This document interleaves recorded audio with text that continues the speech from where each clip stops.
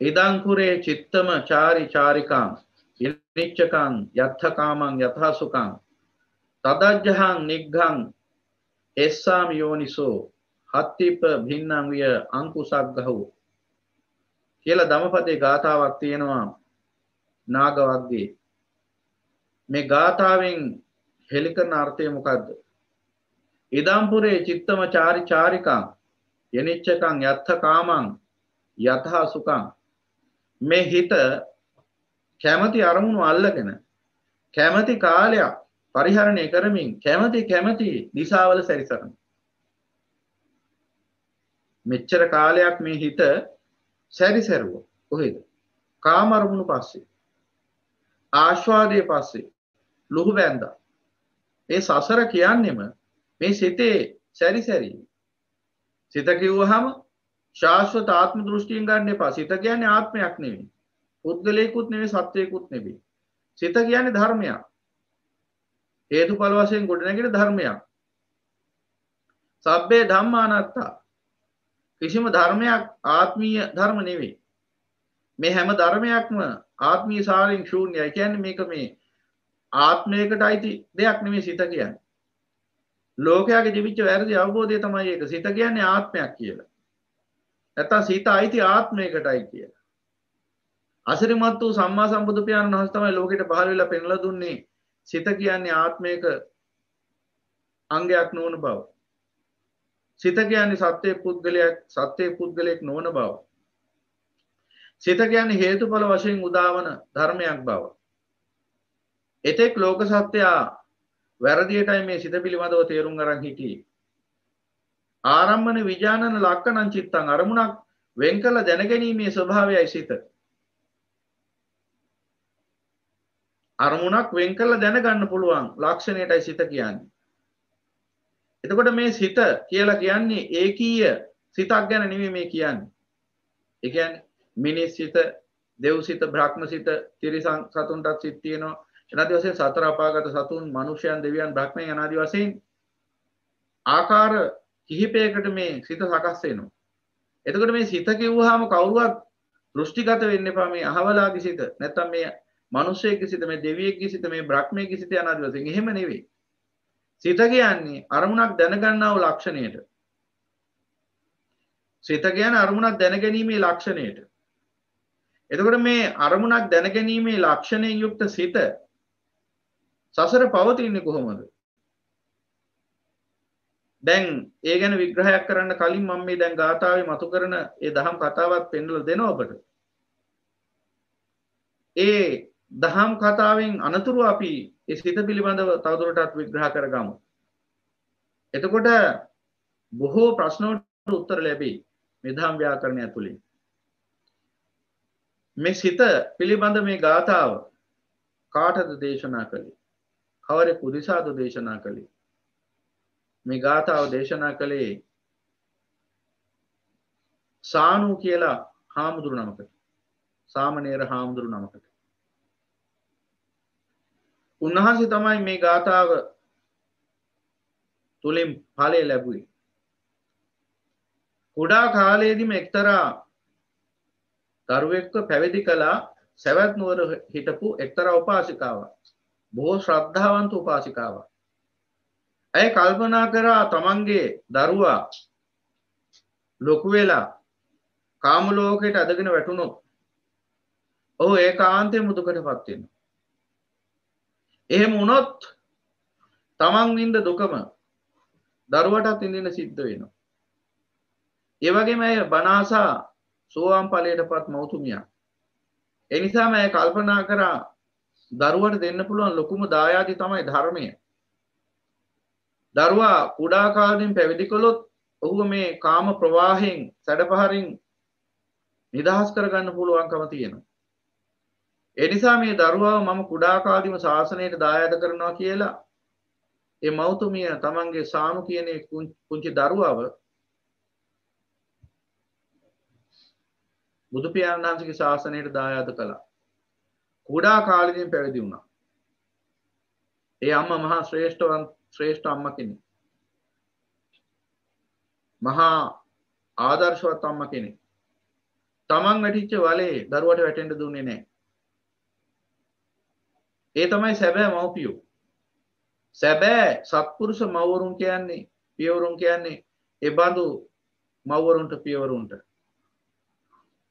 ඒ අම්මයි තාත්තයි කල්පනා කරන්නේ එබඳු සත්පුර සම්මල තාත්තල කල්පනා කරන්නේ තමන් වැටිච්ච වලේ දරුවන්ට වැටෙන් ඉට දෙන්න හොඳ නෑ. එනිසා දී දරුවන්ට උසස් වූ සැපයක් කර ළඟාවෙන්නට මං මාවත හෙළි කරනවා කිය අධිෂ්ඨානී යුක්තව ඒ උතුම් මව මොකද කරේ? තමන්ගේ දරුවාව ශාසනයට දායාද කළා. මේක සත්පුරුෂ මව්වරුන්ට හොඳා දර්ශය ඊට පස මේ කුඩා දරුවා සාමු නමින් පැවිදි වෙලා සාමු සාමනයර හිමියන් බොහෝ දක්ෂ ආකාරයෙන් එවගේම බොහෝ වීරියෙන් උනන්දුවෙන් ඒ ශාසනික වැඩ කටයුතු තුළ නිරත වුණා. කුඩා සාමණේර හිමිනවා.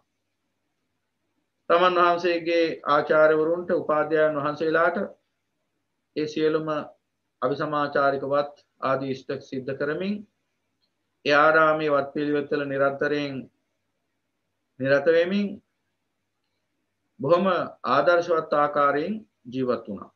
බොහොම හොඳ සීලයක් ආරක්ෂා කරා.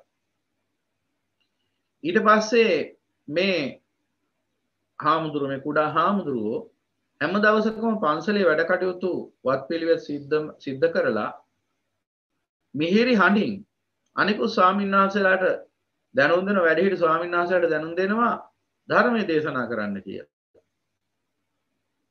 විහාර මළුව එමදලා ඊට පස්සේ ඒ විහාර ගෙවල් පිරිසිදු කරලා ධර්මාසන පනවලා වැඩිහිටි ස්වාමීන් වහන්සේලාට අඩගහනවා ආරාධනා කරනවා ධර්මය දේශනා කරන්න කියලා. උන්වහන්සේ ධර්මයාට ප්‍රියයි. හරිම මිහිරි හඬකින් තමයි කතා කරන්නේ. එනිසා වැඩිහිටි භික්ෂුන් වහන්සේලා මොකද කරේ?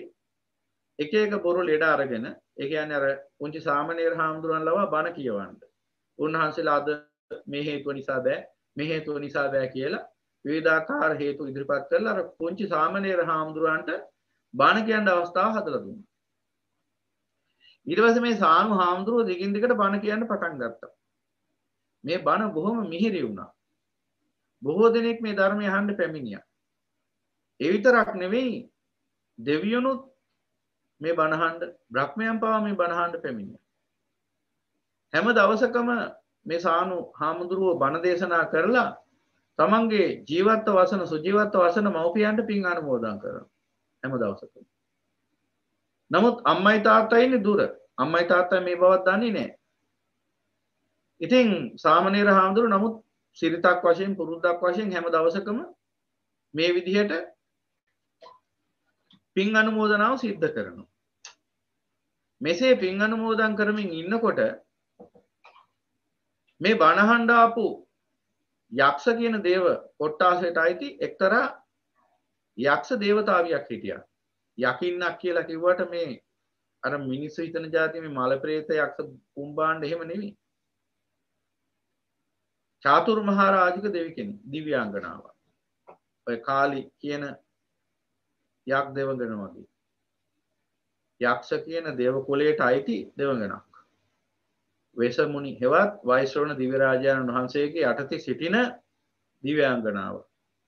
ඉතින් මෙතුමියත් බණහන්ඩාව මේ කවරෙක්ද කිව්වොත් මේ සානු කියන මේ කුඩා සාමනයට හාමුදුරුවන්ගේ පෙර භවයක මව් කෙනෙ. ඉතිං ඇ දිවසින් දැක්කා මේ තමන්ගේ පෙර භවයක දරුවෙක්. එතකොට ඇය මගේ මව්පියන්ට මේ පින් අනුමෝදන් විත්වා කියලා පින් අනුමෝදන් කරනකොට අර මෞතුමියක් අර පෙරභවයක මෞතුම එහෙවත් අරයක් දෙවගෙන පින් අනුමෝදන් වුණ. ඒ ලබාදීපු පින් කොච්චර බලවද්ද කියනවනම් මොකද ධර්ම දේශනාවක් පවත්ත ලපින් අනුමෝදන් කරන්න. සබදානන් ධමදානන් ජිනාති. සියලු දානය අනන්තර ධර්මදානය මාක්‍ර වෙනවා. එනිසා මොකද වෙන්නේ ඒ පින මහත්ඵලයි මහානි සංසයි. අර පෙරභවයක මෞතුමියට ඒ මව් කියන හැඟීමෙන්ම ඒ පින් අනුමෝදන් වෙන්නට පුළුවන්කම ලැබුණ මොකද පෙරභවයක මව් කෙනෙ ඒ අර්ථය. එනිසා ඒක පින අතිසේ බලවත් වුණා. පින බලවත් වෙනකොට ඇය කොච්චර මහේෂාක වුණාද කියනවන මහේෂාක මහා දෙවිදේවතාව උන්වහන්සේ ලපව ඇයෙන මඟ ඇයට ඉඩදීලා පැත්තකට වුණා. ඇයට ආසන පැනෙව්වා. ඇයට ආහාර පිරිනැමුවා. ඇයට උපස්ථාන කරන්න පටන්ගත් අනිකුත් දෙවරු එච්චරේ යක්ෂේ යක් දෙවගෙනගේ පින වැඩෙන්ට පටන් ගත්තා. දිගින් දිගට මේ විදිහට දැන් සිද්ධ වෙනවා. අය බොහෝ බලවත් වුණා. ඔය විදිහට කාලයක් ගත වුණා. සෑහෙන කාලයක් ගත වුණා. අර කුඩා සානු හාමුදුරුව දැන් ටික ටික ලොකු වෙලා අවුරුදු 20ක් වෙනකන් වැඩි වයසට ගියා. වැඩි පියට පත් වුණා. අවුරුදු 20ක් වුණා දැන්. මෙන්න මේ කාලේ වෙනකොට මොකද වුනේ අනබිරතිය කියන එක එහෙම නැත්නම් මේ කුසලයේ කෙරෙහි තියෙන කැමැත්ත අඩු වෙලා ගියා. කුමක් හින්දයක්? කාලයක් යනකොට ඉතින් අර තරුණ වයසට ලං වෙනකොට ධර්මාබෝධයක් නොලබා හිටියනම් ඒ කාන්තයෙන්ම සිද්ධ වෙන්නේ විඤ්ඥානවලට ග්‍රහණය වෙන එක. ඉතින් මේ කුඩා සාමනේර හාමුදුරුවෝ වත් පිළිවෙත් සිද්ධ කරමින් අර්විදියට බණ දේශනා කරමින් හිටියට ධර්මාබෝධය ලොකුවට වැඩල තිබුණේ නැහැ. නමුත් අර මිහිරි හඬින් ඒ තමන් දන්නාව වනපදය දෙක හරි දේශනා කරපු නිසා ධර්ම කතිකයෙක් වශයෙන් වැඩ හිටියට අර විදිහට යම් ආකාරයකින් වැඩිවියට පත් වෙනකොට විඥානවලට ගොදුරු වුණා. කුසල් කිරීමේ කැමැත් හෙවත් අභිරතිය දුරු වෙලා ගිහලා අනබිරතිය වැඩුණා. අරතිය කියලා ධර්ම සඳහන් කරනවා. ඊට පස්සේ උන්වහන්සේ දැන් අවුරුදු 20යි දැන් ටික ටික රාගසිත වැඩෙන්න පටන් අරන්. ඒකයි මේ හේතුව. ඒ නිසා මොකද වුනේ? දැන් අන්න විවිධාකාර පුංචි පුංචි ඇවත් වලට ලක් වෙන්න පටන් ගත්තා. දැන් මොකද වුනේ? දැන් හරියට පිරිසිදු ඉන්නෙත් නැහැ. කිලුට වෙච්ච සිවුරු රවුලයි කොණ්ඩෙත් ඇවිලා දැන් මේ කිසිම පිළිවෙලක් නැති ජීවිතයක් බවට පත් වුණා. ටික දවසක් යනකොට ගෘහ ජීවිතයට යන්න ඕන කියලා හිතුණා. ටික දවසක් යනකොට පැවිද්ද එපා කියලා හිතුණා. සිවුරු හැරලා සිවුරු හැරලිවර වෙලා නැවතත් ගෘහවාසයට යනවා කියලා අදහසක් ආවා. නමුත් එක්වර මේ අදහස ක්‍රියාත්මක කරන්නේ නැතුව තමන්ගේ මෞතුමිය හොයාගෙන නැවත ගෙදර ගියා. යනකොට මෞතුමිය ඉන්නවා ගෙදර වැඩපළ කරගෙන. පුතාව දැකලා එක්වරම වික්ෂිප්ත වුණා. මොකද බොහොම ලස්සනට ප්‍රියමනාපව හිටියා. දැන් රැවුල කොණ්ඩේ ඇවිලා සිවුරු සිවුරු කිලුටු වෙලා මූණ මැල වෙලා කිසිම සතුටක් සැනසීමක් මුහුණේ පේන්නේ එපා වෙච්ච කලකිරීච්ච ස්වභාවයක් තමයි තියෙන්නේ. ඊට පස්සේ මේ මෞතුමිය ඇහුවා තමන්ගේ ඉතින් මේ සාමණේර භික්ෂූන් වහන්සේ තමන්ගේ පුත්‍රයාගෙන් ඇහුවා විස්තරේ මොකද පුතේ? මොකද හිමියනි? යනාදි වශයෙන් එතකොට ඉතින් උන්වහන්සේ පැහැදිලි කළා දැන් මට මෙන්න මේ වගේ තත්ත්වයකට මම මුහුණ දීලා ඉන්නේ. මට දැන් ගොඩක් කලකිරලා තියෙන්නේ මට පැවිද්ද නිකන් එපා වෙලා තියෙන්නේ මට ගිහි වෙන්නට හිතිලා තියෙන්නේ අනාදි වශයෙන් මෞතුමිය එක්වර මේකට පිළිතුරක් දෙන්නේ නැතුව ඊට පස්සේ මේ පුතාට ඉස්සෙල්ලම සංග්‍රහ කරන්න කියලා හිතුවා මේ හාමුදුරුවන්ට තමන්ගේ පුත්‍රයා එවත් මේ සාමනීර සානු සාමනීර හිමියන්ට ඊට පස්සේ උන්වහන්සේට කැඳපත් පිළියෙල කරන්න කියලා හිතාගෙන මුල්තැන්ගෙට ගිහිල්ලා ඒ ආහාර ද්‍රව්‍ය සකස් කරද්දී මේ සානු හාමුදුරුවෝ සාලයට වෙලා කුටුවක වාඩි වෙලා හිටියා. මේ වෙලාවේ අර වියක් දෙවගෙන බණහන් ඇවිල්ලා එදා මේ සානු හාමුදුරුවෝ නැති නිසා කලබල වුණා. කොහෙද ඉන්නේ කියලා බැලුවහම ඇය දැක්කා සානු හාමුදුරුවෝ මේ සාමණේර හිමියෝ තමන්ගේ මෞතුමිය සොයාගෙන නැවත ගමට ගිහිල්ලා. ඒ වගේම සිවුරු හරින්නට සිවුරු උපැවිදි වෙන්නට සිවුරු හරින්නට අදහසක් ඇවිල්ලා. මේ දෙවඟන කලබල වුණා. ඊට පස්සේ අය මොකද කරේ? ඔය දින් හරි මේ කටයුතු වළක්වන්න ඕන කියලා හිතාගෙන අර පුටුවේ වාඩිලා හිටපු සානු හාමුදුරන්ට ආරූඪ වුණා. ආරූඪ වෙලා ඇතුළට ඒ කියන්නේ ඒ චිත්ත සංතානයත් එක්ක සම්බන්ධ වෙලා කය පරිහරණය කරන්න පටන් අරන් කටින් කෙල වගුරුවාගෙන ඔළුව ඇද කරගෙන අමනුස්ස වේශයකින් එතන නිරූපණය කරන්නට පටන් ගත්තා විකාරයක්. මෞතුමිය බැලුවා තමන්ගේ සානු හාමුදුරුව මේ කුඩා කුඩා සාමනීර හාමුදුරුව දැන් අවුරුදු 20ක් වෙන තරුණයෙක් හැබැයි. දැන් මේ පුතා හෙවත් මේ සාමාන්‍ය හාමුදුරුවෝ මොකද කරන්න කියලා බලනකොට කටින් කෙල වගරවාගෙන ඔළුවත් ඇද කරගෙන ඇසුත් ලොකුවට ඇරගෙන අමනුස්ස වේශයකින් පෙනී හිටිනවා. ඊට පස්සේ මේ අවස්ථාව දැක්කහම තමන්ගේ පුත්‍රයාට සිද්ධ වෙලා තියෙන මේ වින්නහිය දැක්කහම අර මවතුමියට මහා සංවේගයක් ඇති වෙලා ඇය හඬා වැළපෙන්නට පටන් ගත්තා. විලාප කියමින් ඇවිල්ලා තමන්ගේ පුත්‍රයා හැවත් ඒ සානු හාමුදුරුවන්ව වත්තම් කරගෙන තමන්ගේ ඔඩොක්කුව හිස තියාගෙන ඔළුව අත ගන්න පටන් ගත්තා අඬ අඬ. දැන් අඬනවා වැළපෙනවා. දැන් අර හාමුදුරුවන්ට සිහියක් නැහැ. මොකද අර යක්ෂාරූಢය නිසා. අමනුෂයෙක් වෙහිලා දැන්. අර යක් දෙවකට තමයි පෙර භවයක අර මෞතුමිය වෙච්ච යක් දෙව යක් දෙවකට තමයි දැන් මේ සානු හාමුදුරුවන්ට ආරූඪ වෙලා ඉන්නේ. ඉතින් ඒ නිසා උන්වහන්සේට සිහියක් නැහැ. මොකද්ද මෙතන සිද්ධ වෙන්නේ කියලා. ඔය විදිහෙන් හරි දැන් මෞතුමිය මේ සානු හාමුදුරුවන්ගේ හිස අතගගා අඬා වැළපෙන්නට පටන් ගත්තා. මේ වෙලාවේ අර යක් දෙවගෙන අර ආරුඩි ඉවත් කළා. ඉවත් කළ ශරීරයෙන් බැහැර වෙලා බලන් හිටියා. ඒ වෙලාවේ අර හාමුදුරුවන්ට සානු හාමුදුරුවන්ට සිහිය ආවා. සිහිය ඇවිල්ලා බැලුවහම සිද්ධ වෙච්ච දේ හිතා ගන්න බෑ. ඊට පස්සේ අහන්න ගත්තා මෞතුමියනි මෑණියනි මම පුටුවෙනි වාඩිලා හිටියේ. කොහොමද මම මේ විදිහට බිමට ආවේ? කොහොමද මම ඔබගේ උකුලේ මේ විදිහට හිස තියාගත්තේ? ඒ වගේම ඇයි ඔබ අඬන්නේ? කියලා ඇහුවා. නමුත් අර මෞතුමිය දිගින් දිගටම ඊට උත්තරයක් දෙන්න නැතුව අඬන්න පටන් ගත්තා. ඊට පස්සේ සානු හාමුදුරුවෝ මව්පිය මවගෙන් අහනවා මෑණියනි මේ ලෝකේ හඬන්න හේතු දෙකක් තියෙනවා. එක්කෝ තමන් ප්‍රිය කරන කෙනා දුර බැහැර යන්න ඕන. එහෙම නැත්නම් ප්‍රිය කරන කෙනා මිය යන්න ඕන. එතකොටනේ හඬා වැළපෙන්නේ මේ ආකාරයෙන්. දැන් මේ දෙකම සිද්ධ වෙලා නැහැ. ඔබ ප්‍රිය කරන මම ඔබ ළඟම ඉන්නවා මෙතන. මැරිලත් නැහැ. ඒ හේතු දෙකම නොපවතිද්දී ඔබයි මේ හඬා වැළපෙන්නේ. කියලා ඇහුවාම අර මෞතුමිය උත්තරයක් දෙනවා පුතුණුවනි හිමියනි ඔබ ඊටාම කුඩා කාලෙදි මම උතුම් වූ පැවිද්දට එක් කරගෙන ගිහිල්ලා දායාද කළේ. අම්මා මෑණි ශාන්තිනායක සම්මා සම්බුදු පියාණන් වහන්සේගේ ශාසනයේ ඔබ ඊටාම කුඩා කාලේ තමයි මම පැවිදි කරේ. මම බලාපොරොත්තු වුණා මේ ගිහි ගින් නික්මිලා ඔබේ දායගේ ගමන නැවත මේ ගිහිගෙට නොයයි කියලා. නරකයකින් ගොඩාපු කෙනෙක් නැවත නරකයට පනින්නට උත්සාහ ගන්නෑ. මඩවලකින් ගොඩාපු කෙනෙක් නැවත මඩවලකට පනිනට උත්සාහ ගන්නෑ. ගිනි ජාලාවකින් නිදහස් වෙලා යන කෙනෙක් නැවත ගිනි ජාලාවට පනිනට උත්සාහ ගන්නේ නැහැ.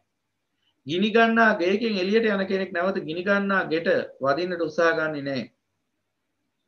යම්කිසි කුණු වලකින් ගවර වලකින් අසුචි වලකින් එළියට ආපු කෙනෙක් නැවත අසුචි වලට පනින්න උත්සාහ ගන්නේ නැහැ. ගෘහවාසය නැමති මේ දුක්ඛිත බන්ධන ගොඩෙන් මේ ගෘහවාසය නැමති මේ දුක් අගාධෙන් ඔබව මම උදවලා ඒ අසිරිමත් වූ සම්මා සම්බුදු පියාණන් වහන්සේගේ ශාසනය නම් වූ ඒ ෂේම භූමියට පත් කළා. නමුත් අද ඔබ ඒ ෂේම භූමිය එපා කියලා නැවත මේ ගිනි වලට පනින්නට ඇවිල්ලා. ආපහු ඔබ අසුචි වලින් නික්මිලා ගිය ඔබ නැවත අසුචි වලට පනින්නට ඇවිල්ලා. හිමියනි යම්කිසි කුලපුත්‍රයෙක් මේ ශාසනයෙන් නික්ම ගිහිගෙන් නික්මිලා ගිහිලා ශාසනය පැවිදි වෙලා නැවතේ උතුම් වූ ශාසනය ශාසනික ප්‍රතිපදාව අත්හැරලා ගෘහවාසයට එනවා කියන්නේ ස්වාමිනී ඒ තමයි මරණය. එබඳු පුද්ගලයා සම්මුතික වශයෙන් නොමලත් මලා වැනි මං ඒ මරණය එසේ කරමින් මේ වැළපෙන්නේ කිය. මේ මහතුමේ බොහෝ ප්‍රඥාවන්ත කෙනෙක්. තමන්ගේ පුතා ගිහිභාවයට පත්වෙන්ට ඇවිල්ලා සිවරු අරින්ට ඇවිල්ලා ඒකයි මේ මහතුමිය වැළපෙන්නේ. ඊට පස්සේ මේ දරුවා තුළ මේ සිද්ධ වෙච්ච අමනුෂ්‍ය දෝෂයක් දැකලා අම්මට යමක් තේරුම් ගියා. අම්මා කිව්වා තථාගතයන් වහන්සේගේ බුද්ධ පුත්‍රයොත් එක්ක අමනුෂ්‍ය ක්‍රීඩා කරන්නේ නැහෙනි. සීලය ආරක්ෂා කරන්නා ගුණධර්ම පුරන්නා වූ බුද්ධ ශ්‍රාවකයන් එක්ක අමනුෂයන්ට කා රාජකාරියක් නැහෙනි. අමනුෂ්‍ය බඳු උත්තමයන් එක්ක සෙල්ලම් කරන්නේ නැහෙනි අනාදි වශයෙන් දක්වනකොට අර අමනුස්ස දෙවඟන එහෙම නැත්නම් අර යක්ෂ දෙවඟනත් එතනම හිටියා. ඊට පස්සේ ඇය මේ කතාව අහගෙන හිටියා. ඊට පස්සේ මේ මෞතුමිය අධිෂ්ඨාන කළා මගේ මේ ප්‍රශ්නට උත්තර ලැබේවා රහතුන්ගෙන් හෝ මට මේ ප්‍රශ්නට උත්තර ලැබේවා බුදුරජාණන් වහන්සේගේ ඒ උතුම් ආර්ය මහා සංඝරත්නය සමග තථාගතයන් වහන්සේගේ මඟ ගමන් කරන සීලය ආරක්ෂා කරන සැබෑ බුද්ධ පුත්‍රය සමග අමනුෂ්‍ය ක්‍රීඩා කරන්නේ නැහෙනි ඔබට මේ මොකද උනේ කියලා. දැන් අම්මට සැකයක් තියෙනවායි මෙහෙම උනේ කියලා. එතකොට අර යක්ෂ දෙවඟන කියන්න පටන් ගත්තා. යමෙක් බුදු පියාණන් වහන්සේගේ ශාසනයට ඇතුල් වෙලා ඒ ශාසනික අර්ථය වරදවාගෙන කටයුතු කරන්න පටන් ගත්තොත් ඒ අරමුණ බැහැර කරලා ශීලය බිඳගෙන කටයුතු කරන්න පටන් ගත්තොත් එබඳු භික්ෂූන් සමග අමනුෂයන් වන අපට ක්‍රීඩාවක් තියෙනවා කියලා. එයින් යම් කිසි දෙයක් අයන් ගෙව්වා. ඊට පස්සේ කොයි විදිහින් හරි මේ මෞතුමිය තේරුම් ගත්ත එතකොට තමාගේ පුතාගේ අතින් යම්කිසි වැරද්දක් වෙලා තියෙනවා කුමක් හෝ අඩුපාඩුවක් වෙලා ඇවතක් වෙලා ඒන් සිද්ධ වෙච්ච වරදක් නිසා තමයි මේ අමනුස්ස දෙවගනට නැත්නම් යක්ෂ දෙවගනට තමන්ගේ පුතාගේ ශරීරයට ඇතුල් වෙන්න පුළුවන්කම ලැබුණේ අනාදි වශයෙන් සීලය බිඳගත්ත නිසා කිය. නමුත් තාමත් සාමනීර භාවයේ ඉන්නේ. ඒ නිසා ප්‍රමාදයක් නැහැ. ඒ නිසා මෞතුමිය මොකද කරේ? තමන්ගේ සාමු නම් මේ සාමනීර භික්ෂුන් වහන්සේවත් පුත්‍රයාට කිව්වා පුතේ නැත්නම් මේ හිමියනි මේ සංසාරේ භයානකයි. මොකද ඇය ඇය සෝවාන් ඵලලාභී මෞතුමිය. ඇයට ධර්මාබෝධය තිබුණා. ඇය තමන්ට වැටහෙන අන්දමින් මේ ගෘහ ජීවිතයේ තියෙන මේ කාමයේ තියෙන ආදීනව පෙන්ලා දුන්නා. මේ කාමයේ වෙහෙස කරයි. මේ කාමයේ බොහෝ දුක පිණිස පවතිනා. මේ කාමයේ මෙලොවත් පරලොවත් දුක පිණිසම පවතිනා. මේ කාමයේ නිසායි ලෝසතුන් දුක් විඳින්නේ. මේ කාමයේ නිසායි මේ 31 තලයේ සියලු ලෝසතුන් අනන්ත අප්‍රමාණ සංසාර දුක්ඛයන්ගෙන් පෙළෙන්නේ. ඒ නිසා මේ කාමයට වහල් වෙන්න එපා. මේ කාමයට හිත තියන්න එපා. ඔබට උදා වෙලා තියෙන්නේ යසිරිමත් වූ සම්මා සම්බුදු පියාණන් වහන්සේගේ ශාසනයේ උත්තරීතර නිවන් ශාන්තිය උරුම කරගන්න පුළුවන් අවස්ථාව. සදාතනික වශයෙන් මේ සියලු සංසාර දුකෙන් නික්මෙන්න අවස්ථාව උදා වෙලා තියෙන්නේ. ඒ නිසා කිසිසේත් මේ කාමයට හිත තියන්න එපා. මේ කාමයේ දුක වශයෙන් දැකලා මේ කාමයේ ආදීනව මෙනෙහි කරලා මේ ගෘහ වාසයේ ගෘහ බන්ධනයේ තියෙන මේ ගින්දර නුවණින් දැකලා නැවත ශාසනයටම හිත පිහිටවන්න කිය. ශ්‍රේෂ්ඨ මෞතුමිය. ඒ මෞතුමියගේ අවවාදයේ ඉදිරියේ නැවතත් සානු හාමුදුරුවන්ගේ හිත ශක්තිමත් වුණා සාමාන්‍යයන් වහන්සේගේ. උන්වහන්සේ ඊට පස්සේ කල්පනා කරා නුවණින් රාගය පහ වෙලා ගියා හිතේ. දැන් කල්පනා කරන්න ගත්තා නැවතත් ගෘහ බන්ධනේ ගෘහ වාසයේ තියෙන කරදර දුෂ්කරතා සංකාර දුක්ඛතා දුක්ඛ දුක්ඛතා විපරිණාම දුක්ඛතා කියන දුක්ඛෝදිය ගෘහ බන්ධනයක් ගෘහ වාසයක් පවත්වාගෙන පවත්වාගෙන යනට අනන්ත අප්‍රමාණ වෙහෙසක් ගන්නට ඕන රැකී රක්ෂා කර්මාන්ත ආදී සිද්ධ කරමින් වගකින් යුතුයකම් ඉස සාධනය කරමින් අනන්ත අප්‍රමාණ වෙහෙසක් ගන්න ඕන ගෘහ බන්ධනයේ ගෘහ ජීවිතය පවත්වාගෙන යන්න සංකාර දුක්ඛතා. එහි ඉමක් ඕනක් නෑ වෙහෙසක් විතරයි ඉතුරු වෙන්නේ. ඊට පස්සේ කල්පනා කරා එබඳු ආකාරයෙන් දහසක් දුක්ඛයන්ගෙන් පිළිපෙළි අප්‍රමාණ වදහිංසාවට ලක්වෙවී අප්‍රමාණ නඩත්තු කිරීමේ පැවැත්මේ දුකකින් ජීවන අරගලයකින් බැටකාලා මේ ජීවිතේ පවත්වාගෙන ගියත් තවදුරටත් ඒ ලංකරගත්ත සියල්ලෙහිම විපත්ති වලට මුහුණ දෙන්න සිද්ධ වෙනවා. මේ ලංකරගත්ත සියල්ල කැඩෙන බිඳෙන වෙනසෙන පණ ඇති දේත් පණ නැති දේත් හැම දේම කැඩලා විදලා වෙනසිලා ජරාට පත් වෙලා ලෙඩ වෙලා මරණයට පත් වෙන දේවල්. එහෙනම් ඒ බඳු ඒ බඳු ජීවිතයක් උරුම කරගෙන ජීවිතය පවත්වාගෙන යනකොට ඒ කිව්ව විපත්ති වලටත් දුක් විපත් වලටත් මුහුණ දෙන්න සිද්ධ වෙනවා. ඒ නිසා ඒවැයිනුත් බැට කණ්ඩ සිද්ධ වෙන දුක්ඛ දුක්ඛතා. ඒ වගේම තමයි මේ හැම සෙල්ලමක්ම මරණ එනකන් විතරයි. මරණ එනකන් තමයි මේ සියලුම සැනකෙලි. ධර්මය අවබෝධ නොකළොත් ඊට පස්සේ තියෙන ගිනි කෙලියක්.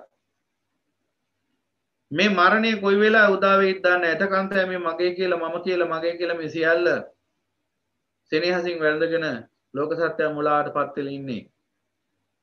ඒ මරණය කවදා කොයි මොහොතේ ආවත් ඒකාන්තයෙන්ම මුහුණ දිය යුතු ධර්මයක්.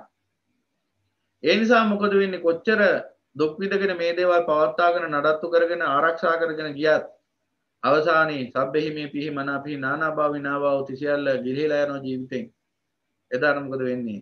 එදාට පාන ඇති දේත් පාන නැති දේ සියල්ලක්ම හිමි වෙලා යනවා. තමන්ගේ මරණයනුත් ඒ දේ සිද්ධ වෙනවා. එහි මරණයනුත් ඒ දේ සිද්ධ වෙන නිසා කොච්චර වෙහෙසිලා පවත්තන් ගියත් මේ සුළු ආස්වාදයකට රැවටිලා මේ මහා දුක්ඛස්කන්ධය පවත්වාගෙන ගියත් අවසානයේ උරුම වෙන්නේ නැහැ කිසිවක් සාරයක්. ඒ නිසා ඒ අර්ථෙනුත් මේ ගෘහ ජීවිතය ගෘහ බන්ධනය පවත්වාගෙන යෑම නිසරු ක්‍රියාවලියක්. ඒ නිසා ඒ නිසරු ක්‍රියාවලිය අවසානයේ ඒකාන්තයෙන් උරුම වෙන්නේ දුකක් විපරිණාම දුක්ඛතා. ඒ නිසා සංකාර දුක්ඛතා දුක්ඛ දුක්ඛතා විපරිණාම දුක්ඛතා කියලා දුක් තුනකින් බැටකමින් මේ ගෘහවාසයේ ඉඳලා අවසාන ලැබෙන ඵලය මොකද්ද? මේ ජරා ව්‍යාධි මරණ ශෝක පරිදේ දුක්ඛ දෝන සුපායාස කියන මේ දුක් සහිත නැවත මේ සසර දුක්ඛ ස්කන්ධයෙන් පමණයි. ඒ නිසා මෞතුමියගේ අවවාදී හරි ඒ නිවැරදි? මේ සංසාර දුකින් නිදහස් වෙන්නට ලැබිච්ච මේ පරම උත්තරීතර අවස්ථාව මගහරින්නට හොඳ නෑ. ඒ නිසා මම නැවතත් මේ උතුම් පැවිද්ද ශක්තිමත් කරගන්නවා කියලා හිතලා එමවගේ අවවාදයෙන් නැවතත් වීරය ඇති කරගත්තා. නැවතත් වීරය ඇති කරගෙන කිව්වා මං එහෙනම් නැවතත් යනවා ආරාමේ බලා ඊට පස්සේ මවතුමිය පුතාගේ වයසත් හරි නිසා දැන් සාමණේර හාමුදුරුව දැන් උපසම්පදා වෙන්න වයසත් හරි අවුරුදු 20යි ඒ නිසා උපසම්පදාව ලබා දෙන්න අවශ්‍ය තුන් සිවුරු ඇතුළේ අනිකුත් පරිස්කාරත් ලෑස්ති කරලා දුන්නා. ඊට පස්සේ මේ සානු හාමුදුරුවෝ තමන්ගේ උපාධ්‍යාය උපාධ්‍යායන් වහන්සේ වරයා වහන්සේ කාවට ගිහිල්ලා උන්වහන්සේට කියලා උපසම්පදාව ලැබුවා. උපසම්පදාව ලබලා නිසි ආකාරයෙන් මේ ශීලයත් ආරක්ෂා කරගෙන ධර්ම අවබෝධයත් ඇති කරගෙන ඒ ධම්ම අවබෝධයත් වර්ධනය කරගෙන ක්‍රමානුකූලව ඒ ශාසනයේ පිහිටියා. ඊට පස්සේ මේ කතා පුවත මේ ආකාරයෙන් අසිරිමත් වූ සම්මා සම්බුදු පියාණන් වහන්සේට දැනගන්න ලැබුණා. ඊට පස්සේ උන්වහන්සේ මේ හාමුදුරුව අරබයා ධර්මය දේශනා කළා. එදා ඒ සානු හාමුදුරුවෝ ඒ මුහුණ දීපු සිදුවීම උන්වහන්සේ කුඩා කාලේ පැවිදි වෙලා අවුරුදු 20ක් වෙනකන් ඉඳලා අවුරුදු 20 දී හිත දුර්වල වෙලා අනුබිරතිය වැඩිලා කුසලයේ කෙරෙහි කලකිරිලා නැවත අකුසලයේ සොයාගෙන ගෘහ ජීවිතයට ළඟා වෙලා ඒ ගෘහ ජීවිතෙන් නැවත මෞතුමියගේ අවවාද නිසා ඒ ගෘහ ජීවිතෙන් නික්මලා නැවත ශාසනයට ඇවිල්ලා උපසම්පදාව ලබලා නැවත උතුම් සීලේ ගුණේ පිහිටලා භික්ෂූත්වයේ පිහිටලා ඒ සිද්ධ කරගත්තේ ක්‍රියාදාමය ඒ සිද්ධ වෙච්ච ඒ ක්‍රියාදාමය උන්වහන්සේ දැනගත්තට පස්සේ උන්වහන්සේ මේ සෝනු හාමුදුරුව මේ සානු හාමුදුරුවෝ උපමා කරගෙන උන්වහන්සේ අරමුණු කරගෙන අධිෂ්ඨාන කරගෙන ධර්මයේ දේශනා කළා. එදා අසිරිමත් වූ සම්මා සම්බුදු පියාණන් වහන්සේ ඒ සානු හිමියන් උදෙසා දේශනා කරපු ධර්මයේ පදනම වෙච්ච ගාථාව තමයි අපි මුලින් සඳහන් කරන්නට යෙදුනේ. ඉදම්පුරේ චිත්තම චාරිචාරිකං යනිච්චකං යත්ථකාමං යතහසුකං තදජ්ජහං නිග්ග හෙස්සාම් යෝනිසෝ අත්තිප භින්නං විය අංකුසක් ගහු මේ ගාථාවෙන් අදහස් කරන්නේ මොකක්ද මේ සිත කැමති අන්දමින් සැරිසරනවා කැමති කැමති දිසාවල. කැමති කැමති අරමුණු අරගෙන කැමති කාලයක් පරිහරණය කරනවා. හිතන හිතන තැන අවදින් ඇවිදිනවා. හිතන හිතන තැන නවතිනවා. මේ සිත කිසිම ආකාරකින් කිසිවෙක්ට මෙල්ල කරන්නට බැහැ. අවබෝධයෙන් හැරන් කිසිම ක්‍රමවේදයකින්.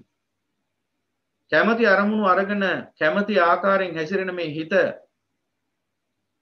මේ ගොඩනගන කර්ම ශක්තිය නිසා නැවත නැවත මේ සසර දුක්ඛ ස්කන්ධය නිර්මාණය වෙනවා. මේ සිත භවයෙන් භවයට ඒකීය නොවන නමුත් චිත්ත පරම්පරාවක් වශයෙන් සැරිසරන ඒකී සිතක් සැරිසරනවා කියලා ගත්තොත් එකම විඤ්ඥානයක් භවෙන් භවයට යනවා කියලා ගත්තොත් ශාස්වත දෘෂ්ටියට වැටෙනවා. ආත්ම දෘෂ්ටියකට වැටෙනවා.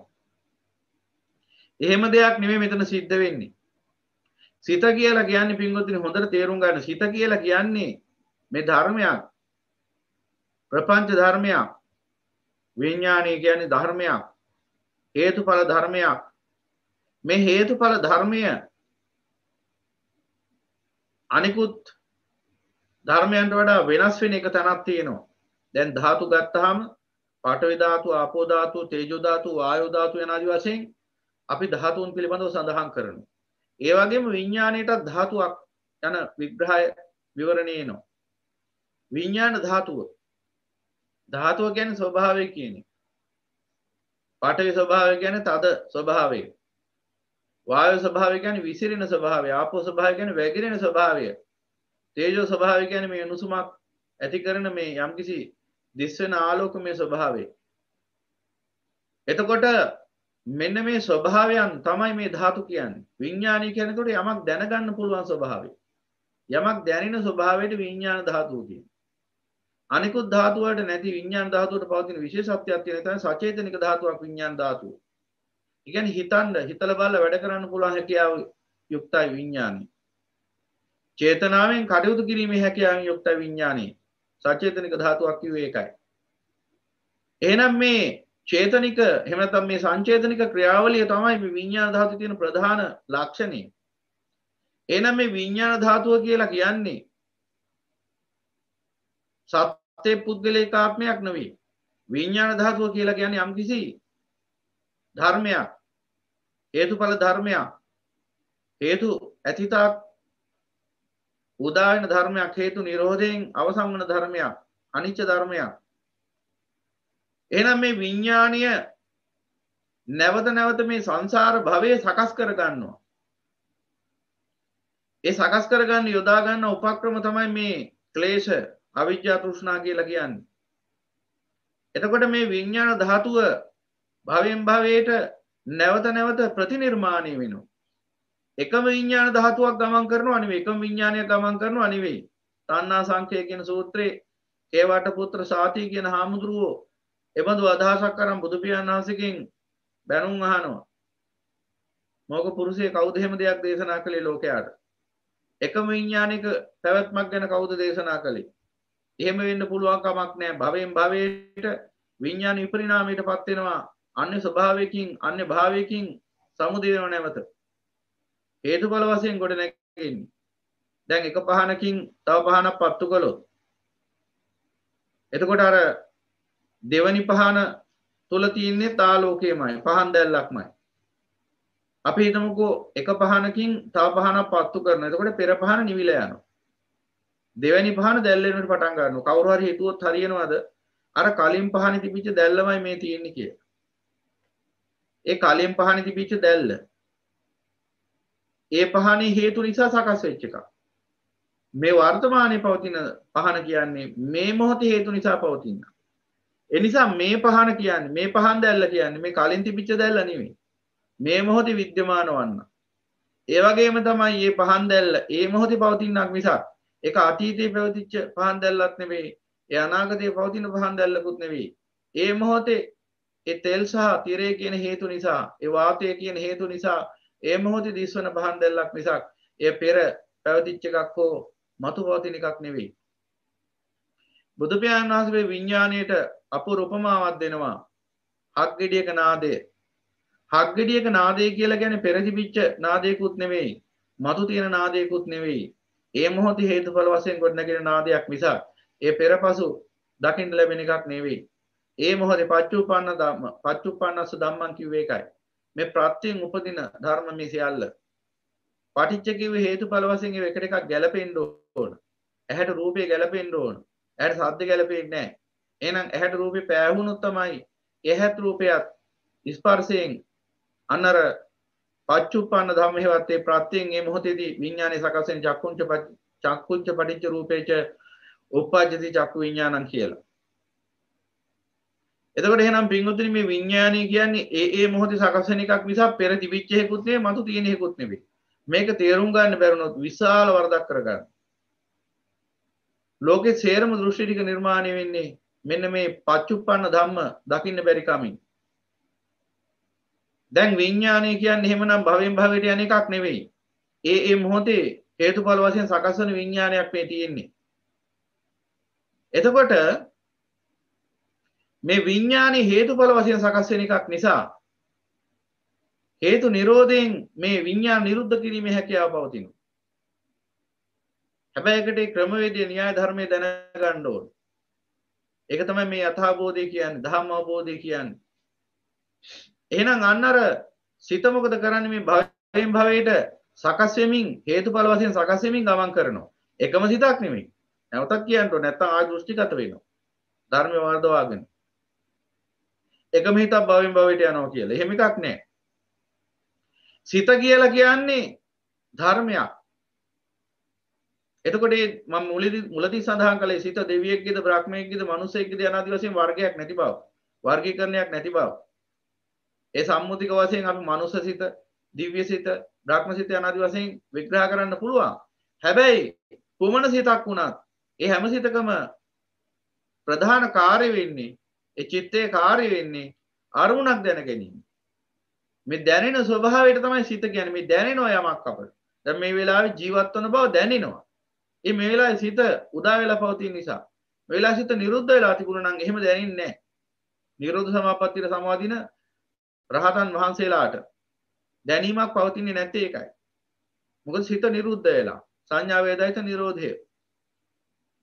සිත නිරුද්ධ වුණාම සහ මුලින්ම එතන දැනෙන අරමුණක් නැහැ. දැනෙන අරමුණක් නැති තැනක දැනෙනවා කියන්න කෙනෙක් නැහැ. මෙන්න මේ ස්වභාවය තේරුම් ගන්න ඕන. එතකොට පින්වතුනි මෙන්න මේ සිතේ පවතින මෙන්න මේ ලක්ෂණය හොඳට තේරුම් ගන්න ඕන. සිත කියන්නේ හේතුඵල වශයෙන් මේ මොහොතේ ගොඩනැගෙන එකක් මිසක් මම නැවතත් ඒ කාරණාව සඳහන් කරන ප්‍රධාන ගැටලුවක් විසඳන්න. සිත කියන්නේ ඒ ඒ මොහොතේ උදා වෙන එකක් මිසක් ඊට පෙර තිබිච්ච හේකුත් නෙවෙයි මතු තියෙන හේකුත් නෙවෙයි. එහෙනම් සියලු කෙලෙස් පවතින්නේ ඒ ඒ මොහොතේ ගොඩනැගෙන ඒ සිත ඒ සිත තුලමයි. අන්න තැනක කෙලෙස් පවතින්නේ නැහැ. එහෙනම් මොහොතින් මොහොත හේතුඵල වශයෙන් ගොඩනැගෙනකොට අර භවංග චිත්තේ මුල් කරගෙන ඒ භවංගයේ තුලට ආපු ඒ සංයෝජන භවංගය තුල ඇතුළත් සංයෝජන අනුසයන් හේතු කරගෙන එහි හේතු ප්‍රත්‍යයෙන් තමයි හැම විටම ඊළඟ එහි විපාක සිත සකස් වෙන්නේ. එනිසා සෑම සිතක්ම අර භවංග චිත්තේ පවතින ස්වභාවයට අනුකූලයි. ඒ භවංග චිත්තේ යම්කිසි ආකාරයකින් අපිරිසිදුද එහෙනම් එයින් විපාක වශයෙන් සකස් වෙන හැම සිතක්ම අපිරිසිදුයි. යම් මොහොතක පිරිසිදු හිතක් පවතිනවා නම් ප්‍රභාසර හිතක් පවතිනවා නම් එහෙනම් මේ මොහොතේදී කෙලස් පවතින්නේ කොහෙද? යම් මොහොතක ඒක චිත්තක්ෂණයක් හරි ප්‍රභාසර සිතක් පවතිනවා නම් යම් මොහොතක ඒ මොහොතේදී අනුසය කෙලෙස් පවතින්නේ කොහිද? එහෙනම් අනුසය කෙලෙස් පවතින තැනක් නැතුව යනවා. ඒ නිසා මේ සිත හේතුඵල වශයෙන්ම කෙලෙස් සහගතවමයි පවතින්නේ. උපතින් කවුරුවත් පිරිසිදු සිතක් අරගෙන ආවි නෑ.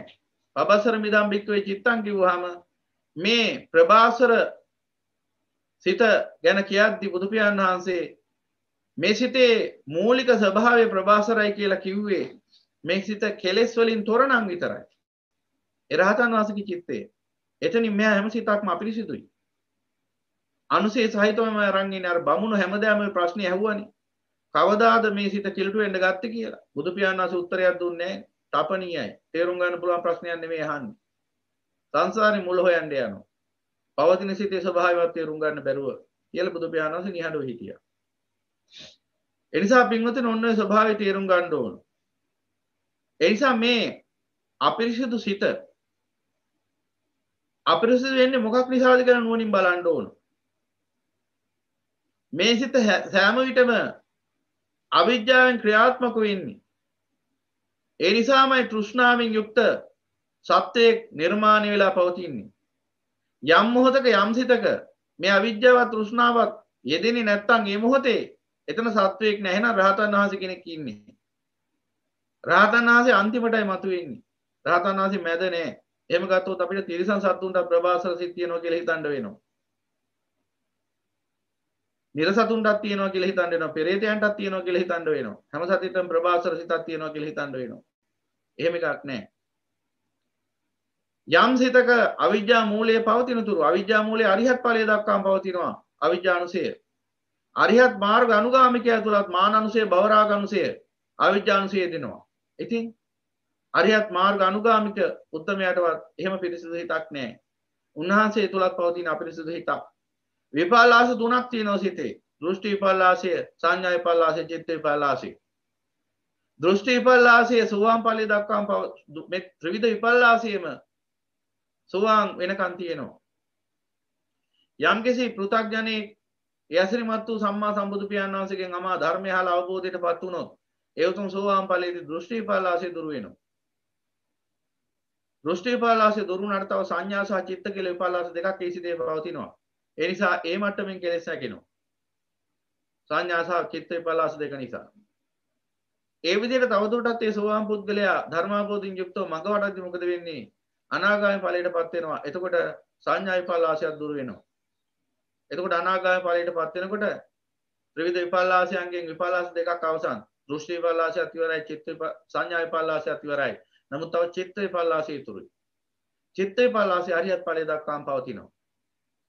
විපරීත දෘෂ්ටියක් විපරීත සංඥාවක් සහ විපරීත චිත්තයක් දැනීමක් විපරීත දැක්මක් විපරීත හැඟීමක් සහ විපරීත දැනීමක් යන ආදි වශයෙන් තුන් ආකාරයකට මේ විපල්ලාස පවතිනවා මේ සිතේ.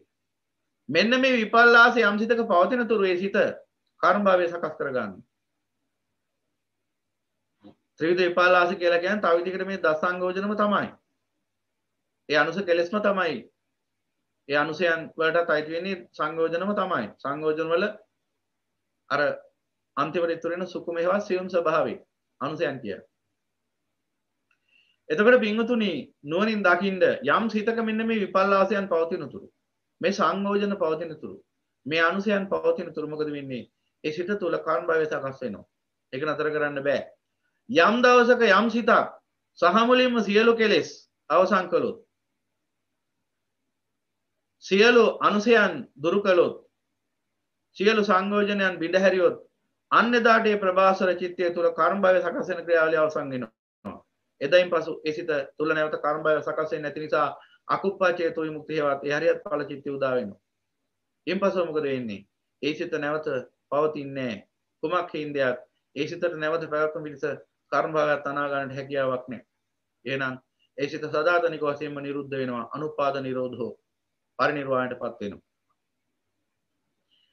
එහෙනම් එතෙක් මේ සිත තුළ මේ අනවරත ක්‍රියාවලිය සිද්ධ වෙනවා. කැමති අරමුණු ගන්නවා, කැමති අරමුණු කැමති තරම් පරිහරණය කරනවා, කැමති කැමති තැන්හි සැරිසරනවා.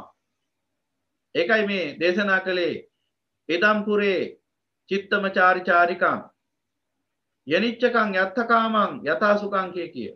මේ සැබෑ සුවය කියන්නේ මෙන්න මේ කාම සුවයයි කියලා විපරීත දෘෂ්ටියක් සංඥාව චිත්තයක් ඇති කරගෙන විපරීත දැක්මක් සංඥාවක් හැඟීමක් චිත්තයක් හේවත් දැනීමක් ඇති කරගෙන මේ සිත සැරිසරනවා කැමැති කැමැති සව්වල. ඒ කියන්නේ ලෝක සත්‍යය මුලාවටපත් කළා. සැපේ කියන්නේ මේ කාමයටයි. සැපේ නම් කාමයයි කියලා. මේ විදිහට විපරීත චින්තනයකින් යුක්තව මේ සිත සැරිසරනවා. දැන් මේ අමා ධර්මය අහලා අවබෝධ කරගන්නට අසමත් වන අන්ධබාල පෘථග්ජන ලෝකයාට සිද්ධ වෙනවා හිතේ කැමති හිතට කැමති අරමුණක් අරගෙන කැමති කාලයක් පරිහරණය කරන තුරු හිතට ඉඩ දීලා බලන් ඉන්න. හිතු මතේ ජීවත් වෙනවා. හිතු මතේ හිත පාවෙනවා. ඒ ජීවිත පාවෙනවා මේ අවිද්‍යාව තුළ. කොහෙද යන්නේ කියලා දන්නේ නැහැ. ඔය වලාකුලක නැත්තම් ඔය පිහාටුවක කෙලවර ගමන කෙලවර කොහෙද කියලා කාටවත් කියන්න බෑ. ඔහේ පාවෙනවා. උළඟ හමන හමන අතට පාවෙනවා. ඒවගේ මේ හිතු මතේ මේ ජීවිත පාවෙන්නේ අයි මේ හිත පාවෙනවා අරමුණු අස්සේ අරමුණු අතර. ඔහේ යනවද කියලා දන්නේ අරමුණක් නැති ජීවිත. පෘථග්ජනය කියලා කියන්නේ මෙන්න මේ හිතට ඉඩ දීලා බලන් ඉන්න කෙනා. හිත කැමති කැමති අන්දමින් හැසිරෙනවා කැමති කැමති අරමුණු අරගෙන පරිහරණය කරනවා කැමති තාක්කල් පරිහරණය කරනවා එනිසා පෘථග්ජනය කියලා කියන්නේ සිතේ සහ මුලින්ම වහලේ. පෘථග්ජනය කියලා කියන්නේ සිතට තනිකරම ගැතිකම් කරන්නේ. අමා ධර්මය අස අවබෝධ කරගන්නට අසමත් සියලු දෙනා අන්නේ හිතේ වහලුන්. මෙන්න මේ හිතේ වහල් භාවයෙන් නිදහස් වීමට විමුක්තිය කියන්නේ. එහෙනම් අන්න බුදු පියාණන් වහන්සේ පෙන්වා දුන්න එදා සානු හාමුදුරුවන්ට මේ සිත කැමති කැමති අරමුණු අරගෙන සැරිසරන්න පටන් ගත්ත නිසායි ඔබට මේ සිත මෙල්ල කර ගණ්ඩ බැරි වුණේ. සංසාරයේ පුරාම සිද්ධ කළේ දේමයි. අදත් මේ උතුම් වූ බුද්ධ ශාසනයක උතුම් පැවිදි භාවය ලබාගෙනත් ඒ සිත හැසුරුණේ අන්දමින්ම ඒ නිසයි උතුම් වූ නිවන අපියසටම ඇවිලා නැවත ආපහුවර සංසාරයේ එගිනිවලට පන්නට ආපහුවර ගෘහ පන්තිරය බැඳෙන්නට ගියේ. එහෙනම් මේ හිත ඥානවන්තයෝ මේ විදිහට පරිහරණය කරන්නේ? ඥානවන්තයෝ මේ හිත මෙල්ල කරනවා මේ හිතට නිග්‍රහ කරනවා. තදජ්ජහන් නිග්ග හෙස්සාම යෝනිසෝ නුවනින් මේ හිතට නිග්‍රහ කරනවා. තුච්ච නින්දිත සිත නිග්‍රහ කරනවා මේ හිතට. හත්තිප්ප භින්නම් විය අංකුසක් ගහෝ. එක අර ඇත්තු මෙල්ල කරන්න තියෙනවා. උපකරණයක්. මේ උපකරණයෙන් පුළුවන් වෙනවර මහා හස්ති රාජයෙක් වුණත් මෙල්ල කරන්න. හෙන්ඩුව. හෙන්ඩුවෙන් පුළුවන් පුංචි හෙන්ඩුවෙන් පුළුවන් අර විශාල ඇතෙක්ක මෙල්ල කරන්න. ඒවගේ මේ හිත හස්ති රාජයෙක් නම් මේ හිත මෙල්ල කරන්න ඕන ප්‍රඥාව නැති හෙන්ඩුවෙන්. එතකොට හෙන්ඩුවෙන් නිකම මෙල්ල කරන්න හෙන්ඩුවෙන් අර ඇතාට යම් ආකාරයක නිග්‍රහයක් කරනවා. ඒ ඇතාට යම්කිසි ආකාරයක දඩුවමත් දෙනවා. හෙම තමයි මෙල්ල කරන්නේ. මේවා ඒවාගේ මේ සිත මේ ප්‍රඥාව නැමති හෙන්ඩුවෙන් මෙල්ල කරන්න ඕන. එහෙම නොකොරොත් මේ සිත වල් ඇතෙක් වගේ හැසිරෙන්නේ. වල් ඇතෙක් එහෙම නැත්තම් දමනය නොවූ ඇතෙක් ඌට ඕන අන්දමින් හැසිරුණාම ගෙවල් දොරවල් කඩමින් බිඳ දමමින් ගම්මාන වනසමින් කෙත් අතු පාලු කරමින් මනුෂයන් පව නසා දමමින් හැසිරෙන්නේ. එතකොට එබඳු ඇතෙක්ව මෙල්ල කරන්න අපට සිද්ධ වෙනවා අර කුඩා හෙන්ඩුවක් නමුත් අරගෙන ඒ ඇතාට යම්කිසි ආකාරයක නිග්‍රහයක් සිද්ධ කරන්න ඔහුට දඩුවමක් සිද්ධ කරන්න.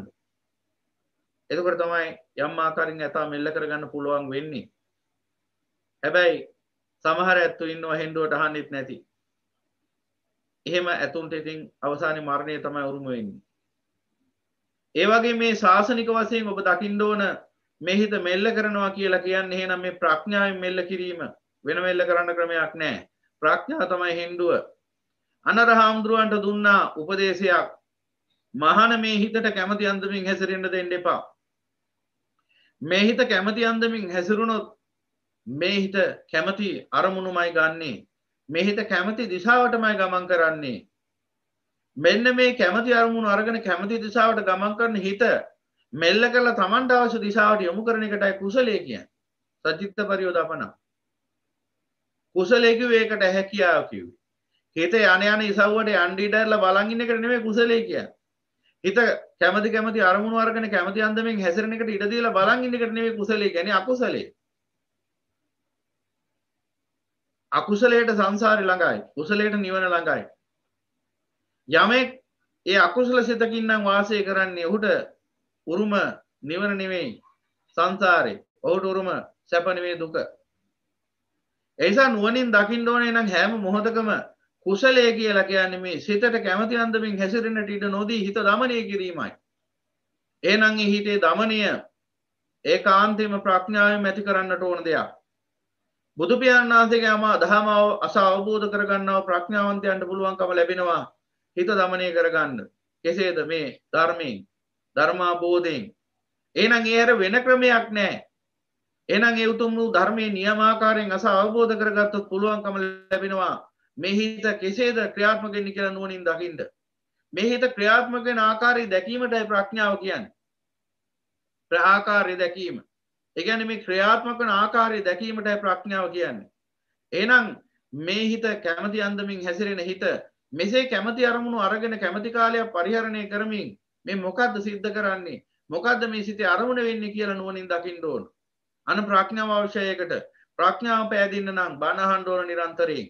තතාගතයන් වහන්සතම මේ විශ්වය අවබෝධ කර පුතුමන් වහන්සේ. එතට මේ විශ්වය අවබෝධ කර පුතුමන් උතුමන් වහස තමයි ලෝකයට දේශනා කරන්නේ. සිත කියන්නේ මෙබඳු ධර්මයක්. සිත හැසිරෙන්නේ මෙසේ. සිත උදාවෙන්නේ මෙසේ. සිත නිරෝධ වෙන්නේ මෙසේ සිතේ අරමුණ මේකයි යනාදි වස සිතේ පැවැත්ම මේක යනාදි වසයෙන් එහි අපි මෙතෙක් නොදත් සත්‍යය විඤ්ඥානය පිළිබඳ සියලු යථාර්ථයන් එලි කරන්නේ ලෝකයට ඒ අසිරිමත් වූ සම්මා සම්බුදු පියාණන් වහන්සේ එනම් ඔන්න අන්න ඒ අසිරිමත් වූ මහා ශාස්තෘරයන් වහස අපට පෙන්වා දෙනවා මේ සිත පරිසම්පන්නෝ ක්‍රියාත්මක වෙන්නේ පච්චුපන්න ධර්මයක් හිත කියලා කියන්නේ ප්‍රත්‍යයෙන් උපදින ධර්මයක්. පටිච්චසමුප්පන්න ක්‍රියාවලියත් තුළින් සිත ජනිත වෙන්නේ. කර්ම රැස් වෙන්නේ. සිත කියන්නේ හේතුඵල ධර්මයක්. එහෙනම් මේ සිත නැමැති ධර්මයේ හටගන්නේ මෙන්න මේ අවිජ්ජා නැමැති හේතුව නිසායි. යනාදි වශයෙන් මේ සමස්ත ක්‍රියාවලියම යසිරිමත් වූ මහා ශාස්ත්‍රවරයන් වහන්සේ අපට පෙන්වා දෙනවා. ඒ වගේම උන්වහන්සේ අපට පෙන්වා දෙනවා මේ සිතේ දැනීම, මේ සිත කියන්නේ මේ දැනීම, මේ දැනීම පවත්වාගෙන යාම කියන්නේ දුක. යනාදි වශයෙන්. ඒ නිසා මේ සිත ප්‍රඥාවන්තයෝ කරන්නේ দমনය කළා නැවත නූපදින සත්‍යයට පත් කරන්න අවශ්‍ය ක්‍රියාමාර්ගය ගන්න එක.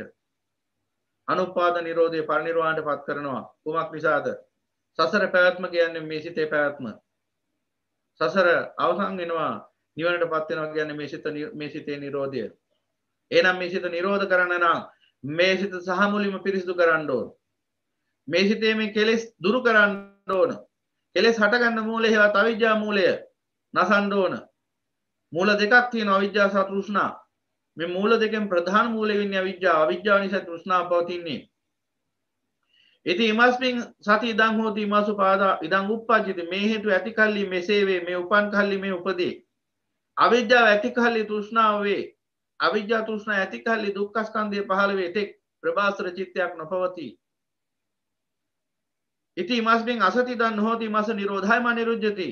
අවිද්‍යා නොමැති කල්ලි තෘෂ්ණාව නොවේ. අවිද්‍යා තෘෂ්ණා නොමැති කල්ලි දුක්ඛස්කන්ධය නූපදී අන්න එදාට ප්‍රභාස්වර චිත්තය හටගනී.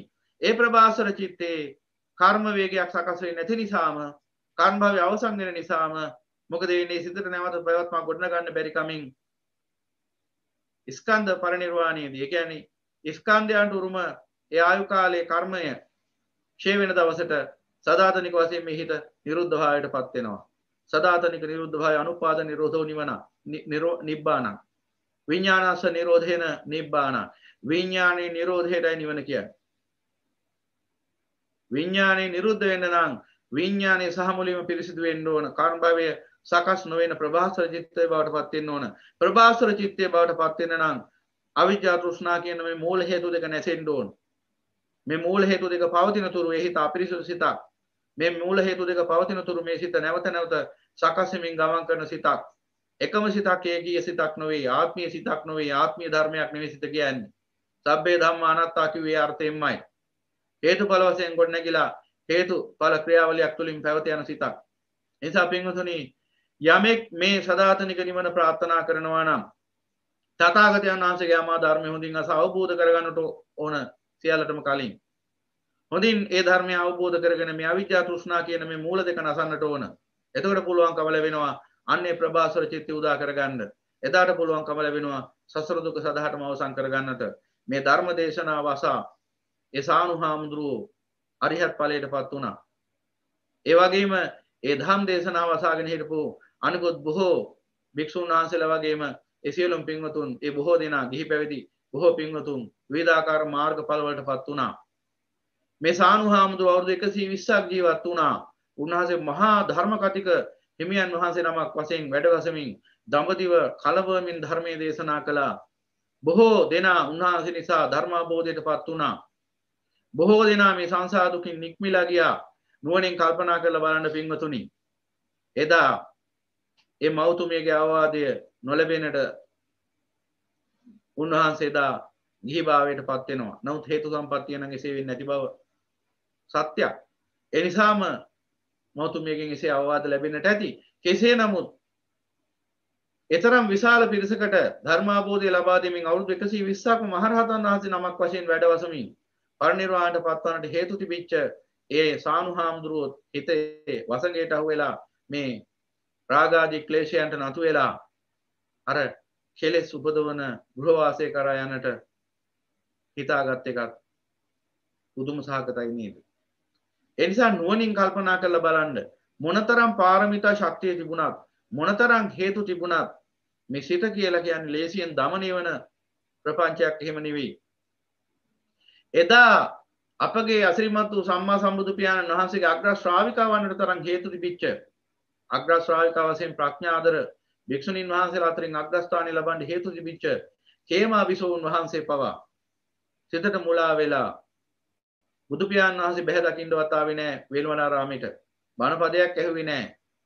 එතුමියව උපක්‍රමශීලීවයි රැගෙන ඉන්නට සිද්ධ වුණේ ආරාමයට. මේ කවරෙක්ද? සම්මා සම්බුදු පියාණන් වහන්සේගේ අග්‍රශ්‍රාවිකාව. ප්‍රඥාදර භික්ෂුණීන් අතරින් අග්‍රස්ථාන ලබන තුමා විය.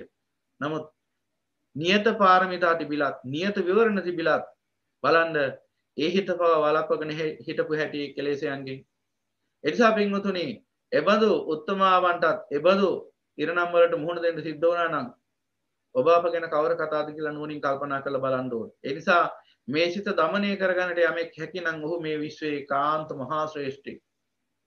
මේ සිත দমনය කරගන්නට නොහැකි කවමයි මේ නීච තුච්ච නින්දිත සත්වයක් නිර්මාණය වෙලා මේ දස අකුසලෙන් නිරත වෙමින් 136ක් නිරසහිත මේ සතර පාය පවා දුක් විඳින භයානක සංසාර ගමනක් උරුම කරගන්නේ. මේ ලෝකේ සත්වත්වය කියලා කියන්නේ ඊටාම පහත් දෙයක්. ඒක මේ පංච උපාදානස්කන්ධය කෙරෙහි තියෙන ඇල්ම කියන්නේ නීච ධර්මයක්. අදම මුග්ධ ධර්මයක්. ඒ නිසා තමයි මේ ලෝකේ අදම මුග්ධ නීච සත්වයෝ බිහි වෙලා ඉන්නේ. පංච උපාදානස්කන්ධය කෙරෙහි පවතින ඇල්ම යම් තාක්ද මේ මට්ටමට නීච සත්වයෙක් බිහි වෙනවා. ඒ ස්කන්ධ පංචකය අසුරු කරගෙන.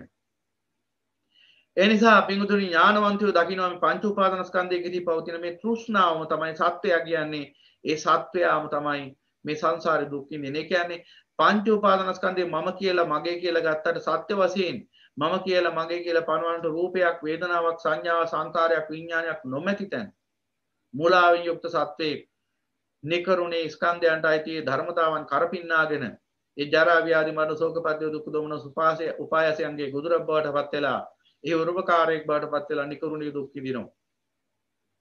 එහෙනම් සංකල්පීය වශයෙන් ගොඩනැගිච්ච සත්‍යයත් තමයි මේ දුක් විඳින්නේ. භවයෙන් භවයට තෘෂ්ණාවෙන් ගමන් කරන සතෙක් ඉන්නේ. එහෙම නැතුව ආත්මීය සත්‍යයක් නැහැ. තෘෂ්ණාවෙන් සකස් වන මේ පංච උපාදාන තන්ත්‍ර ක්‍රියාවලිය තුළ තෘෂ්ණාවෙන්ම සකස් වෙච්ච සංකල්පීය සත්‍යයත් තමයි වාසය කරන්නේ. එහෙනම් මේ බව නුවණින් දැක්කහම අන්න පුළුවන්කම ලැබෙනවා මේ සිත කියන මේ මායාවෙන් නිදහස් වෙන්නට. මේ සිත තුළ මේ අවිද්‍යා පවතින තුරු තෘෂ්ණාව සකස් වෙනවා. තෘෂ්ණාව පවතින තුරු සත්‍යයක් නිර්මාණය වෙනවා. එහෙනම් අවිද්‍යාව අවසන් වෙච්ච දවසට තෘෂ්ණාව නිමා වෙනවා. තෘෂ්ණාව අවසන් වෙච්ච දවසට සත්‍යය අවසන් වෙනවා අරිහතුන් වහන්සේ පහළ වෙන්නේ. එහෙනම් යම් කාලෙක මේ සිත පාරිශුද්ධත්වයට පත් වුණොත් ප්‍රභාස්වර භාවයට පත් වුණොත් මේ සියලු අවිද්‍යා තෘෂ්ණාදී ක්ලේශ සහමුලින්ම අවසන් වුණොත් එදාට පටිසමුපාදයේ අවිජයත්වය අශේෂ විරාග නිරෝධෝ කියලා නිරුද්ධ භාවයට පත් වෙනවා. අන්න එදාට පුළුවන්කම ලැබෙනවා ඒ අසිරිමත් වූ අරිහත් ඵල චිත්තයෙන් සදාටම සදා සසර ගමන අවසන් කරන්න. එහෙනම් පින්වතුනි මේ ලෝකේ ඥානවන්තයෝ ප්‍රඥාවන්තයෝ බුදුරජාණන් වහන්සේ බුද්ධ ශ්‍රාවකයෝ සෑම විටම අපේක්ෂා කරන්නේ අන්නේ தත්වයයි. ඒ ඒ මට්ටම් වලින් ශ්‍රද්ධා වීර සත් සමාධි ප්‍රඥා කියන ධර්මයන් වැඩිලා තියෙන්න පුළුවන් කෙනෙක්ගේ. හැබැයි කුමන මට්ටමින් වැඩිලා තිබුණත් කවදා හෝ දවසක ඒ හරියත් ඵල චිත්තය උදා කර ගන්නා දවස වෙනකම්ම සංසාර දුක්ඛ ස්කන්ධය උරුම කරුවෙක් සසර දුක උරුම වෙනවාමයි. නවත්තන්න බෑ. කුමක් හේන්දයක්? ඒ හිතේ කෙලෙස් නැගෙන තුරු කර්ම භවය සකස් වෙනවා. කර්ම භවය සකස් වෙන තුරු දුක්ඛ ස්කන්ධය සමුදය වෙනවා.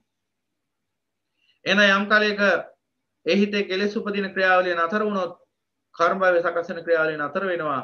කර්ම භවය සකස් වෙන ක්‍රියාවලිය නතර වුණොත් අන්න විපාක ස්කන්ධය දුක්ඛ ස්කන්ධය අවසන් වෙනවා.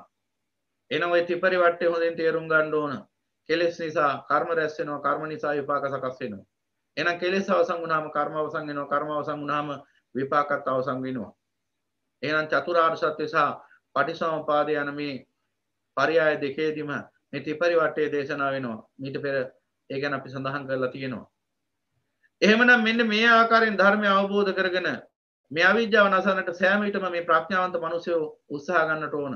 සෑම විටම ප්‍රඥාවෙන් උත්සාහ ගන්නට ඕන කුමක් නැසීම පිණිස මේ අවිද්‍යාව දුරු කිරීම පිණිස අවිද්‍යාව නැසීම පිණිස. අවිද්‍යාව පවතින තුරු චිත්ත සංතානී ඒ අපිරිසුදු සිත නැවත නැවතත් නැවත නැවතත් නැවත නැවතත් කර්ම භවය සකස් කරනවා. එහෙනම් අවිද්‍යාව සහ මුලින්ම අවසන් වෙච්ච දවසට ඒ සිත නැවත කර්ම භවය සකස් කරන්න එහෙනම් කර්ම භවය නිරුද්ධ වෙනවා. එහෙනම් පින්වතුනි ඒකාන්තයෙන් උත්සාහ ගන්නට ඕන මේ සියලුම පින්වතුන් අන්නේ අවිද්‍යාව නිරෝධ කිරීමටයි. ඒ අවිද්‍යාව නිරුද්ධ කිරීමෙන් විතරයි මේ සංසාර දුක අවසන් කරගන්නට පුළුවන්කම ලැබෙන්නේ. එහෙනම් ලෝතුරු වරණ මේ දහම් සංවාදයට සහ භාගි වෙලා ඉන්න මේ ලෝපුරා මේ ධර්මයට කම් දෙන සියලු පින්වතුන්ට අපි ඊටාම කරුණාවෙන් මතක් කරනවා මේ ධර්මය හොඳින් අස අවබෝධ කරගෙන තථාගතයන් වහන්සේගේ ඒ අවවාදීම පිහිටා සිටිනට කියලා. එසේ පිහිටා සිටින සියලුම පින්වතුන්ට පුළුවන්කම ලැබෙනවා මේ ලද උත්තරීතර මනුෂ්‍ය භවෙන් අග්‍රඵල නෙලා ගන්න අග්‍ර සැපත උදා කරගන්න. එහෙනම් එදා ඒ කෙලෙස් වලට නතු වෙලා ගොදුරු වෙලා ඒ කාමේ උගුලට වැටෙන්නට ගිය සාමු හාමුදුරුවෝ ඒ මෞතුමියගේ අවවාදෙන් වගේම යම්මා මෑණි ලෝතුරු ශාන්තිනායක සම්මා සම්බුදු පියාණන් වහන්සේ නම් වූ ලෝකෝත්තර මෑණියන් වහන්සේගේ අවවාදිනුත් ගතයුත් අරගෙන ලාගා කරගත යුතු ඉහළම අවබෝධය ළඟා කරගෙන සංසාර දුකෙන් නිදහස් වුණා.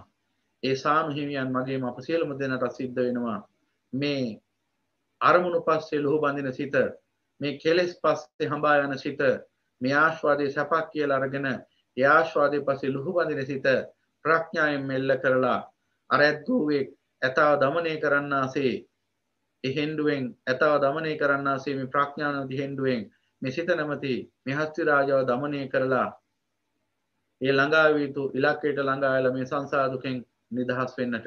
ඒ නිසා පින්වතුනි ඒ අදිෂ්ඨානීය යුක්තව කවුරුත් තමන්ගේ චිත්තසංතානෙ দমনය කරලා මේ ලද උත්තරීතර මනුෂ්‍ය භවෙන් අග්‍රඵල නෙලාගෙන සදාතනිකමා නිවනින්ම සැනසීමේ කියන අදිෂ්ඨානීය යුක්තව සාදුකාරයක් පවත්වමු. හොඳයි